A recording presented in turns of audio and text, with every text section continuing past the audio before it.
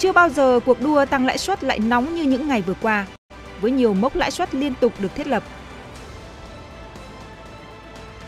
Trong cuộc đua tăng lãi suất này, người dân và doanh nghiệp sẽ đối mặt với những khó khăn, rủi ro gì và những tác động ra sao tới nền kinh tế.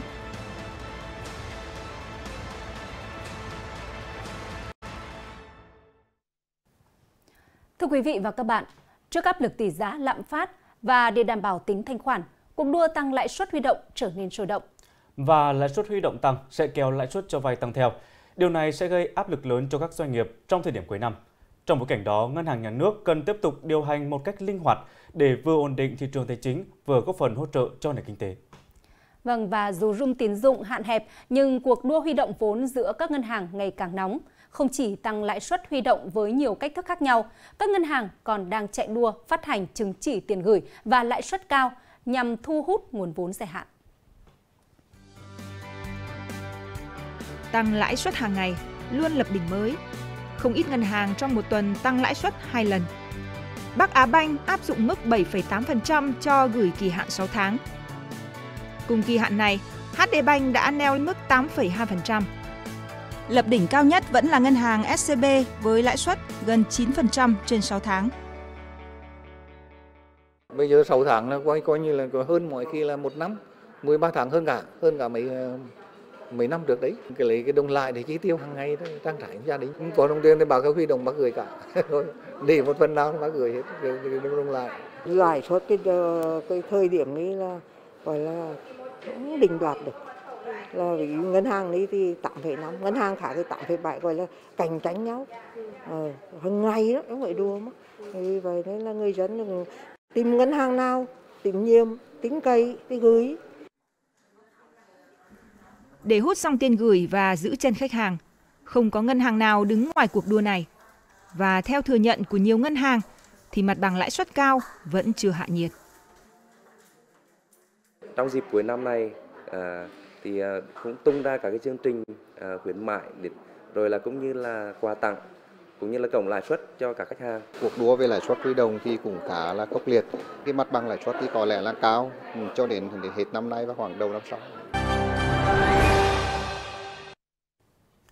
Cùng với lãi suất huy động thì lãi suất cho vay cũng tăng theo và đã thiết lập một bằng mặt bằng mới Áp lực vốn vay lãi suất cao đang đè nặng lên vai các doanh nghiệp khi đang tập trung tăng tốc sản xuất kinh doanh vào thời điểm cuối năm.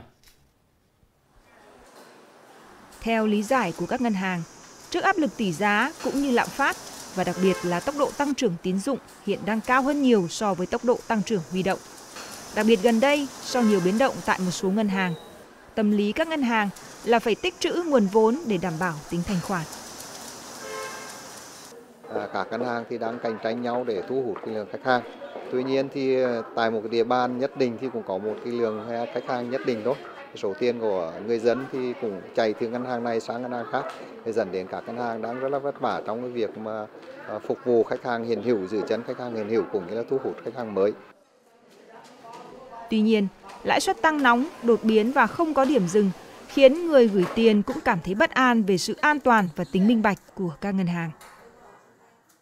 Mà lãi suất mà cứ ngân hàng nào cũng đưa nhau tăng lên một ít thì cảm thấy trong tâm mà bất an bất an là sợ giá tăng lên. Lãi suất cao thì lại càng nhiều khi mất giá rồi dư tăng lên không phải một nhưng mãi một tăng lên phải hai mãi một tăng không ba thì người dân thiệt thôi về phía doanh nghiệp lãi suất cho vay tăng đang gây áp lực lớn đối với hoạt động sản xuất kinh doanh nhất là thời điểm cuối năm. Như tại công ty cổ phần ABT Mặt bằng lãi suất lên đến 12 đến 13%, thậm chí cao hơn đang khiến cho doanh nghiệp khá lo lắng. Bởi từ đầu năm đến nay, chi phí đầu vào đều tăng trong khi tiêu thụ hàng hóa chậm. Đối với cái nguồn vốn à, cũng như là cái lãi suất ngân hàng nó tăng thì nó cũng gây rất nhiều khó khăn cho cái sự phát triển sản phẩm cũng như là sự phát triển của các mặt hàng. Cái lượng tiêu thụ của sản phẩm nó sẽ bị chậm lại cũng như là nó ảnh hưởng đến à, cái sự phát triển của của kinh tế chung. Theo đại diện doanh nghiệp, trong bối cảnh cuối năm khi kế hoạch sản xuất kinh doanh đang dang dở, nguồn vốn dù lãi suất cao, doanh nghiệp cũng phải chấp nhận để duy trì hoạt động. Tuy nhiên, sự cầm cự sẽ không được lâu và nhiều doanh nghiệp sẽ phải ngừng sản xuất nếu lãi suất cho vay không được điều chỉnh. Chưa kể hiện nay, việc tiếp cận vốn cũng không dễ dàng.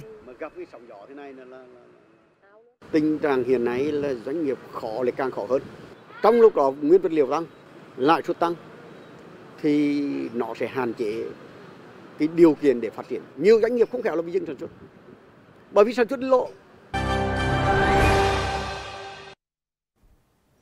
Lạm phát tăng nền kinh tế nhiều biến động tăng lãi suất là chính sách thắt thắt chặt tiền tệ. Tuy nhiên chính sách này cũng sẽ gây khó khăn cho quá trình phục hồi nền kinh tế.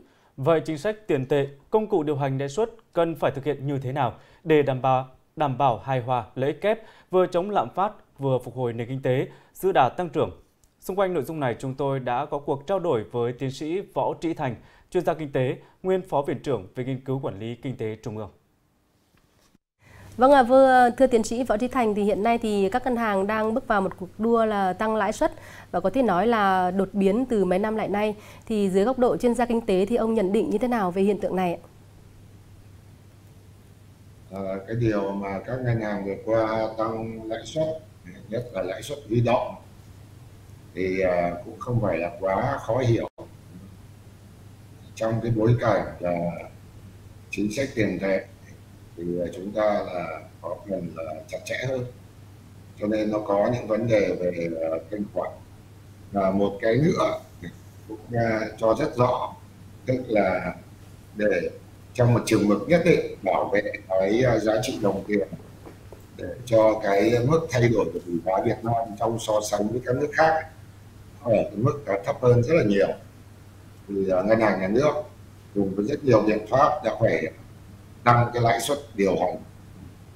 À, chính cái lãi suất điều hành này cũng là một cái phần đáng kể để mà à, buộc các ngân hàng thương mại mà cũng phải à, tăng lãi suất. Và như tôi nói nhất là lãi suất huy động. Vậy ờ, thì thưa tiến sĩ thì ờ, cái việc mà tăng lãi suất huy động như thế này thì nó sẽ tác động trực tiếp như thế nào đến ờ, hoạt động của các ngân hàng à, nói riêng và đến cái hoạt động của cái thị trường tiền tệ nói chung và đặc biệt là nó sẽ tác động như nào đến cái hoạt động của các doanh nghiệp cũng như là tâm lý người dân ạ? Cái đối với các ngân hàng thương mại thì điều rất là rõ để họ phải xử lý các cái vấn đề nội tại của họ như chúng ta trao đổi thì vấn đề thanh khoản chẳng hạn, đúng không? À, ngân hàng nhà nước hiện nay phải đối mặt với cả ba cái nhiệm vụ. Một là giữ cái ờ, lạm phát thấp và cùng với đó thì là giữ cho cái tỷ giá Việt Nam đồng nó biến động không quá lớn. Nhưng mà thế là chưa đủ. Thế mà còn lại phải là hỗ trợ nền kinh tế. À, ngân hàng thương mại Việt Nam thì hiện nay đã à, đa số đã khá rất nhiều so với giai đoạn cách đây 10 năm.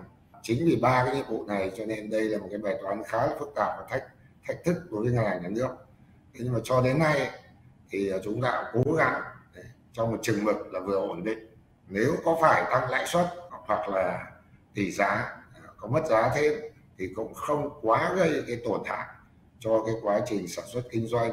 Hiện nay thì cái cuộc đua mà tăng lãi suất thì chưa có cái dấu hiệu hạ nhiệt ạ. Vậy theo ông thì điều này thì nó ảnh hưởng đến cái tính thanh khoản của ngân hàng cũng như là gây một cái tâm lý ờ, rất là bất an cho người dân. Vậy theo ông là bây giờ có cái khuyến cáo gì đối với người dân cũng như là các ngân hàng ạ? Ngân hàng nhà nước cũng ờ, rất là cố gắng để mà cái mức tăng ờ, trong một chừng mực nó có thể cái nền kinh tế có thể chịu đựng được và cái nguồn lực cho nền nền kinh tế nó vẫn có phần nào đáp ứng được. Cái thứ hai là hệ thống các ngân hàng thương mại bên cạnh cái việc họ phải à, giảm thiểu những cái nỗi lo về à, thanh khoản, về à, nợ xấu, cũng có một cái tin tốt lành là nợ xấu và nợ xấu có thể tiềm ẩn. Thì cũng đã bắt đầu có xu hướng là giảm trong cái bối cảnh này. Đối với các doanh nghiệp, một trong những cái rất quan trọng đối với các doanh nghiệp, tức là quản trị rủi ro đặc biệt là những rủi ro liên quan đến thị trường đến lãi suất đến tỷ giá Rồi theo ông thì ông có thể nhận định như nào về cái cuộc đua mà tăng lãi suất của các ngân hàng trong thời gian tới thì sẽ có cái dấu hiệu sẽ có cái sự thay đổi như thế nào? Ngân hàng nhà nước hiện nay ấy, thì à, cái công cụ các cái công cụ à, chính sách tiền tệ để mà đảm bảo cái thanh khoản cho hệ thống ngân hàng và chính cái đảm bảo thanh khoản này kể cả trên thị trường lên ngân hàng chúng ta thấy gần đây thì đấy cũng là một cái nhân tố nó đảm bảo cho cái ờ, cuộc đua lãi suất này nó không phải là cứ kéo dài mà. Thế thì ờ, ngân hàng nhà nước hiện nay cũng đã bắt đầu kiểm soát chặt chẽ ờ, những cái dòng tiền như vậy. Và đấy cũng là một cái trong nhìn về phía trước nó cũng hạn chế phần nào cái cuộc đua lãi suất khi mà họ đảm bảo được những cái yêu cầu của uh, ngân hàng nhà nước. Vâng ạ, một lần nữa xin cảm ơn à, tiến sĩ Võ Thị Thành đã nhận lời à, tham gia trao đổi với phóng viên NTV ạ.